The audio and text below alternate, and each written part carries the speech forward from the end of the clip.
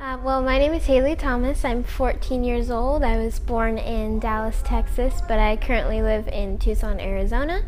And um, my dad is actually um, what has inspired me to uh, do all that I'm doing now with being a health advocate and the founder of my Happy organization.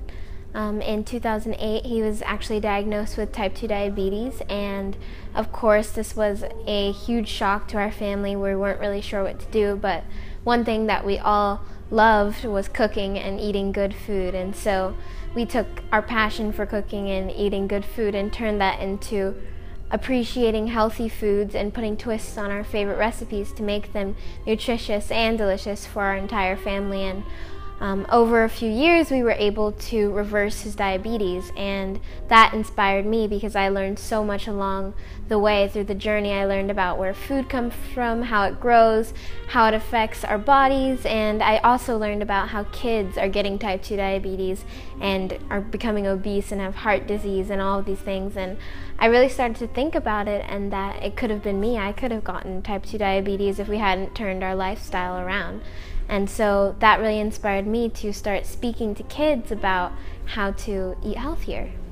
My mom took us all to the library and we just sat there for hours looking through all of these books on how to reverse different diseases with healthy foods and increase physical activity and all of these things that we really weren't paying attention to, more just enjoying what we were enjoying and kind of you know, not being aware of all of these things that happen behind the scenes. And so learning about like processed foods and genetically modified organisms and how all of that is impacting us as we are consuming it was really eye opening. And as a seven year old, you don't really know what to do about it, but you know that you just have to take the steps to improve your health. And if you care about yourself and your family, then it's just what you have to do. And I think um, for my area of expertise, being a health advocate for kids, I don't have a degree in nutrition, but I have really hands-on, real-life experiences with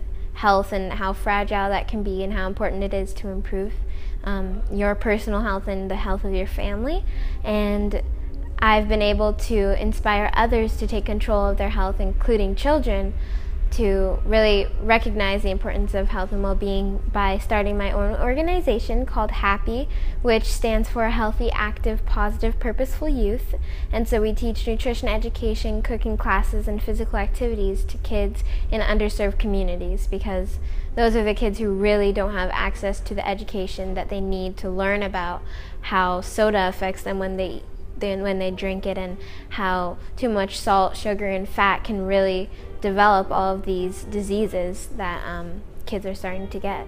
Some of the challenges that um, I've faced while doing this is definitely people thinking that I'm too young to be telling anyone to do anything um, just because I'm not formally educated. but I think that it's really telling these real life stories and connecting to others with stories is really a way to overcome that challenge and well it did take a few years um, for my dad's condition to be reversed. So once it was finally reversed that's kind of when i was i wanted to say something to some kids or somebody. And i remember being at school and me and my mom would talk to all the kids and parents about it.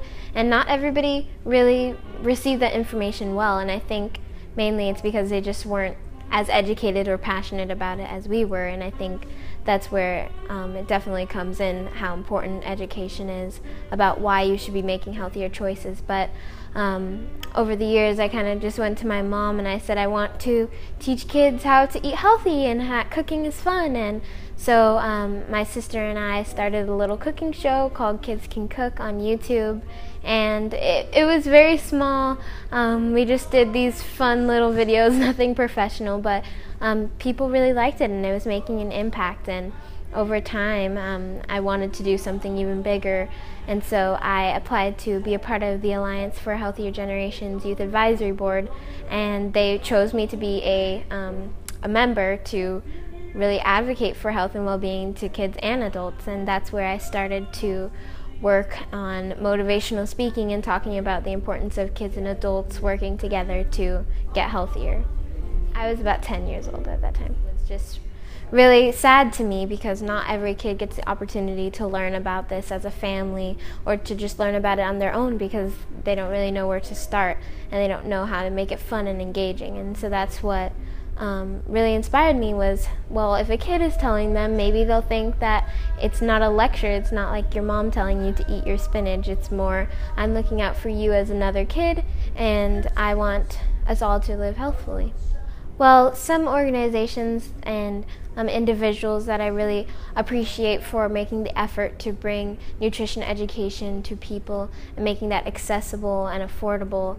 Um, I actually am an intern at Canyon Ranch Institute with former Surgeon General Dr. Richard Carmona, and their organization is working on bringing all of these incredible programs like a life enhancement program and healthy community healthy garden programs to people in underserved communities who really need this information and really need to realize how important it is to take their health in their hands. And so I'm really, really lucky to work with them and to be a part of their movement to help others. And I really admire them for really taking the leap to reach out to other communities. I've gotten the opportunities to work with incredible companies and organizations like Hyatt Hotels to build their um, For Kids by Kids menu, which is all about simple, healthy, delicious, and sophisticated menu items for kids. So there's no macaroni and cheese on the menu, there's no chicken nuggets, and we're really just making kids feel more a part of the dining experience in a healthful way. And so,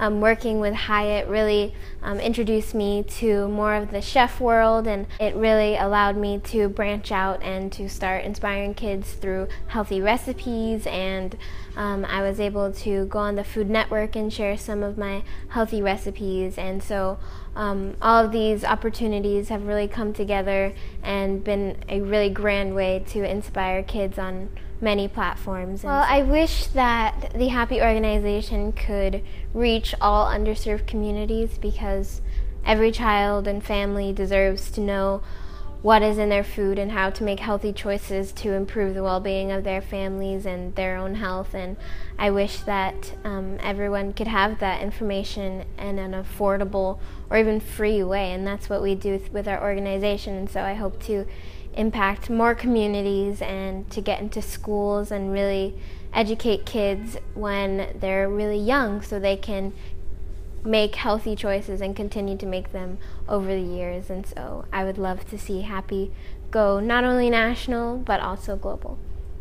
Well, I think kids in underserved communities just are very grateful for what they already have, and I'm sure they feel like there's not really another choice, but there's always a way to get educated about health and well being, and that's why happy when we come in. We make it a comfortable situation for kids to talk about um, and learn about healthy foods and to understand the food processing and all of those things in a really fun and engaging way. And I think that is the best way to reach these areas because it's not intimidating, it's not degrading, it's a comfortable and happy place. And that's where people can really learn and be educated in the most comfortable way. Well, um, one simple way to support me and my organization and really the whole health movement is to just spread positive messages about healthy eating and to educate your friends and families about anything that you learn about health and well-being because it can really help and transform someone's life. But if you want to directly support me and my organization, you have, can of course make a donation, volunteer with our organization, and you can learn more information on how to do those things through uh, thehappyorg.org or hailevthomas.com. My one wish for the future is that we can all have equal opportunities to be educated about health and well being, and that way we can all be our optimal selves, which will open doors for us to be happier and more successful in the things that we love to do. Consciousness is being aware of yourself and others and what you love to do, and really going for what you what you want and what feels right in your heart. I think that is consciousness, and um, doing things that are good for you and others. Age does not define anyone and what they want to do, and I think that's something that I also um, really speak to. Is a lot of the time people think that just because you're young you can't do anything, but I definitely think and I definitely know that's not true. I think if you're passionate about something and you want to do something good in the world, don't be afraid to do it because amazing things can happen. Yes, I am the future.